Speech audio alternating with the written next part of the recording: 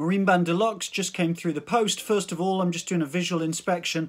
How's the shape of it when I lock down? Okay, is it is it bent or like really kinked? Pretty good, looks pretty good.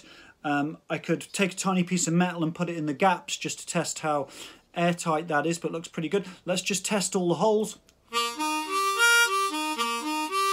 Particularly first the lower draw holes, just to see how they play because that's the true test. Okay, the two and three need a little bit of work. I'm going to tweak those. How are the bends?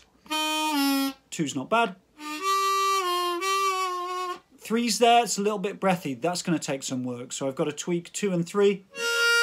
Four's pretty good. How's the tuning? A tiny bit out of the octaves. Generally, the tuning very good. So this is a pretty decent harmonica for straight out the box. The only thing I've got to do is tweak the reeds a little bit so the bends respond better. There we go.